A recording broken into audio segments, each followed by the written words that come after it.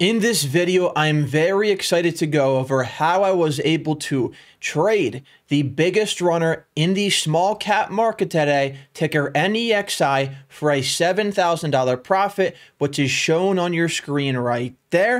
And I'm going to go over how I was able to alert ticker NEXI within my private Discord before the massive, massive run for $10 per share, with the first alert being under the $3 level. And if we flip over to the private Discord, you can see I added NEXI at 2.9 right there at 6.05 a.m. You can see NEXI at 6.09 a.m. NEXI multiple times here. A day trade ID at 7.55 a.m. on ticker NEXI.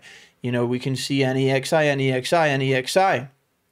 And we can see another alert at market open for ticker NEXI, where I said it's still the play of the day, and I'm going to be watching that one for a scalp. So if you do want to join the private Discord, there is a link in the top pin comment below. And at the end of this video, I'm going to go over some swing trade opportunities that you guys have been asking about and that I am currently interested in. Guys, remember, I'm not a financial advisor. I am just here to to try to help you to try to help point you guys in the right direction and kind of, you know, go over the knowledge that I have learned trading small caps and kind of give it to you guys right now. So, what is the first thing that I saw with ticker NEXI? Why did I like this play and what is going on? First of all, I already knew this ticker, ticker NEXI. I already knew that it had a big run in the past. And since I trade the market every single day, I remember the small cap stocks that have the biggest runs. They I just remember them. I literally simply, they just stay in my mind. And when I see them again, I already know what it is. And I already know they have the potential for big runs.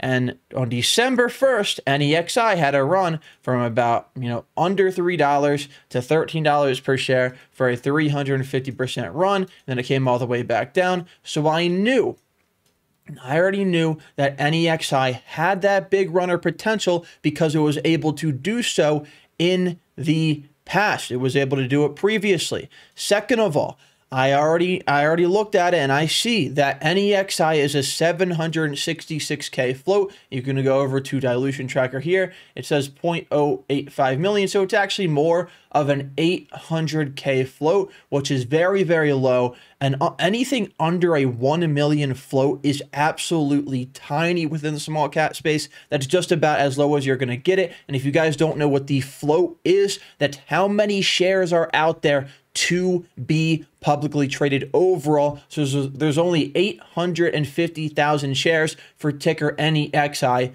to be traded. Now, first of all, I saw I woke up probably about you know 5 a.m. here, and I was looking at the Webull top gainers pre-market list, and I already saw that NEXI did start to gap up here about 20% on rather low volume. Although I was, even though it did at that point have rather low volume, I was still interested in it. And I'll explain why with the due diligence and everything. I'll cover that in a second, but I was still interested in this play. First of all, because it was a previous runner. And uh, I'll actually go over right now why I was interested in it. And we, this is very, very key context here to why I was interested in ticker NEXI even on low volume, because usually I always say, you know, wait for that big volume, wait for that big volume. And I did wait for that big volume for the main trade out of it. But why was I interested in this before it had big, big volume on that just initial low volume gap up? This is why. NEXI is one of those plays kind of like ticker CING. Remember, CING was a big 400% squeezer. And guess what? They really had bad news out that the company was potentially going bankrupt. For NEXI here, if we go to the filing section on Dilution Tracker and we check the DEF 14A, if you guys don't know what a DEF 14A filing is, that means there's an upcoming shareholder meeting. And if you look into that filing, you'll see what they are holding the meeting for for shareholders to vote on. And in this case for NEXI, they were holding a shareholder meeting to potentially approve approve a liquidation of the company, which means the company is basically they're getting rid of the company. They're selling everything, they're selling all their assets, and they're getting rid of the company. And that meeting to approve that liquidation was supposed to be held on December 21st, 2023. But they uploaded another filing on December 22nd, an 8K filing. And you and to go on that, you just click the 8K there, and then you see the Form 8K. You click this document right here. You click that.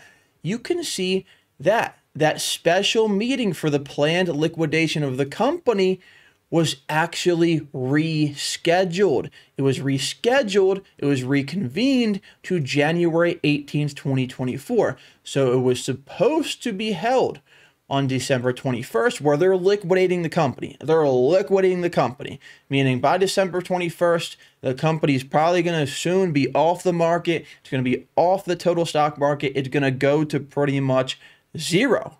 But it actually is going to happen a little bit later on January 18th, 2024. It's still going to happen, but it's going to happen later. And within the small cap space, you know, two weeks or three weeks is a lot of time. It gives obviously a lot of time for a stock to run. All you really need is just one day for a stock like this to run. So, right off the bat, I was very interested in this stock, even with low volume, because there could have been already a lot of shorts, meaning people betting against a company in this play because these shorts, these people that were betting against the company, were basically anticipating that the, the shareholders were going to approve liquidation of the company, get rid of the company, go bankrupt, get it off the stock market. And a lot of these shorts could have been shorting the play in anticipation of that happening, you know, on what was it, December um 21st, but it was rescheduled for almost a month down the line. So there could have already been a lot of shorts in this play, but they kind of might have been trapped because, you know, if the stock goes up and they're short the company, then they have to cover their short position. So that's why I was interested in on low volume. And that's why in the private Discord, I alerted it first at 2.9 right here you can see at 2.9 at 6.05 a.m. I added NEXI 2.9 at 6.05 a.m. 6.05 was right here. So, you know, basically this is right here where the first ad was for ticker NEXI, which resulted in a potential 200% move. But, you know, I was watching this very closely. I alerted it there. And then, um, you know, that was a little bit of more of an aggressive ad. You don't really want to be adding, you know, just random companies, um, especially if you're not experienced. You don't want to be adding just random companies pre-market. They gapped up on low volume. It's really not going to work out most of the time. But I will. I'm proud to say this. This is where my market experience comes into play, and I already kind of know these tickers. I know how these tickers trade. I've been looking at, I've been, you know, watching these stocks for a while, and I just kind of know what's going on here. So at that point, you know, I was still hanging on here. I was actually thinking about adding here um, as long as it held over that previous pre-market low, this wick here of about 271. I was able to do that. And then, you know, I started actually drawing a trend line here, this downtrend trend line. So that's basically what I did here is I drew this, went across that top wick right here, boom, just like that. And um, I was basically waiting for this to potentially break over out of that downtrend and potentially break over the previous pre-market high, which was 3.3. And that previous pre-market high is something you're really going to want to focus on on a lot of these tickers you're, you're looking to trade pre-market. That previous pre-market high back there was 3.3. You can see it bounced off there on that candle. That candle, I don't really count this because that was just a, run, a quick run up, but you can see it bounced off this on that candle. This candle, there was even a wick here. So that 3.3 was the previous pre-market high. And uh, let's go over back here. So it was able to, you know, viciously break over that previous pre-market high of 3.3. And then it came back down, but it was holding over that previous pre-market high. These five-minute candles were closing, closing, closing a five-minute candle, closing a five-minute candle, closing a five-minute candle over that previous pre-market high multiple, multiple times. And I do believe that is where the main day trade idea came in within the private Discord at 7.55 a.m. here, added NEXI. And you can see at 7.55 a.m. was right there. So that was the main NEXI trade idea, obviously before that big old 100% pop.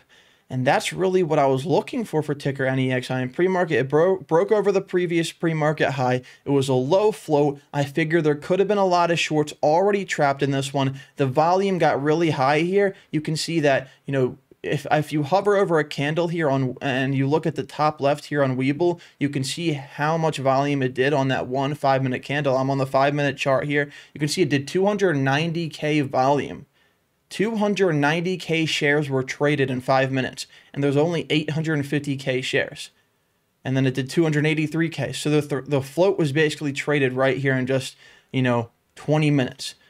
And when the volume is high like that, and when a lot of the float is being traded, that is when it gets really, really interesting. That means there's a lot of eyes on the stock, there's a lot of people trading the stock, and it has a higher chance of popping and going up.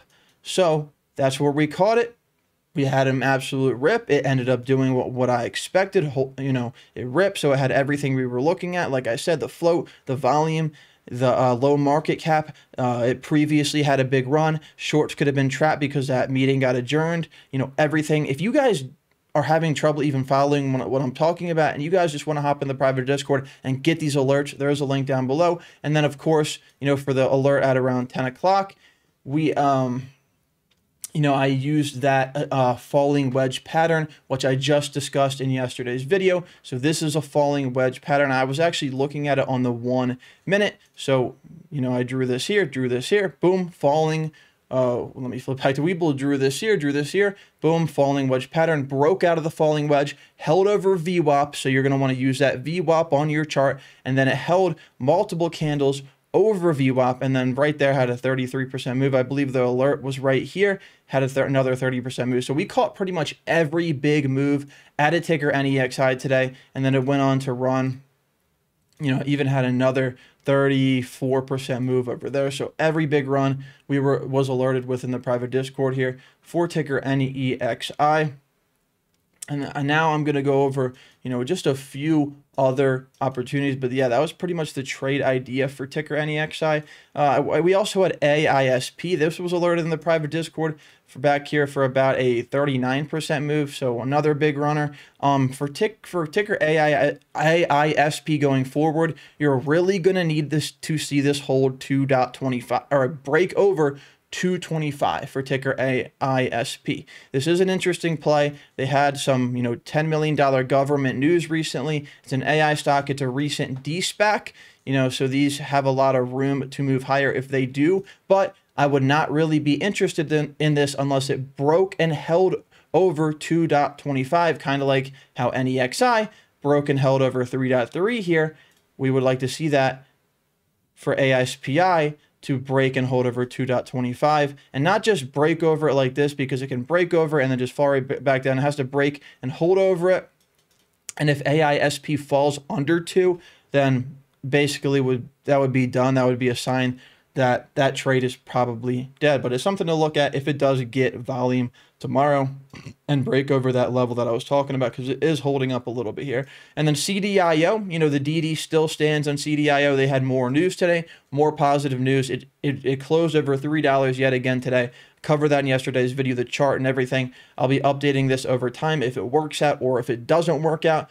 I will go over that. Ticker ROI. Guys, I predicted this. This could have been even a good short if you short penny stocks because I told you guys it was going to be a buy the rumor, sell the news. They told us that they had news coming today. They had news coming today. The news did not live up to its expectations. It sold off. Boom. I told you guys this was going to happen. A lot of people have been also mentioning ticker MGAM. Guys, I mean, the, the volume on this has completely died. Uh, there is no volume on it right now, although even with low volume, it is still holding up over that 50-day MA. Even on the daily here, it bounced right off of that. I did talk about, you know, it could have a bounce off of that. That's about a 23% move, but it is low volume. It's hard to trade. Overall, I'm really not too focused on this one, but I would say that as long as it does hold over the 50 day M 50 day MA, which is this green line right here, then it is still in play. That means it is a sign of a potential uptrend, but they're going to need news news for ticker MJM, although I'm not really too interested in it anymore personally. And uh, I also did want to quickly cover one more thing here. Just go over, you know, a few comments here. Shout out to the National here. Really appreciate you uh, focusing on education. Thanks for all the hard work. I will continue to do so. Drop a like if you do enjoy this video. Beps here, he said, uh, just purchased a membership. Shout out to you. I hope you do enjoy the membership. Ace Klopp here. Being a successful trader isn't typical. And that, guys, that's just true. Being a successful trader isn't typical. You do have to put in the work yourself. I'm not a financial advisor. Nobody on social media is a financial advisor here. You got to put in your work. But he did say he's having success in the Discord. And he said, and then Rich over here, he said he made 30% on whatever ticker I was talking about in the video. I can't remember exactly what it is, but that was the trade review, review for ticker NEXI, and that was going over a few swings. Drop a like, hop in the Discord right now. If you if I flip over here, guys, you can go to the profit here. People are absolutely going crazy here, so definitely hop in there. 100% run on ticker NEXI. That's it for me. Peace.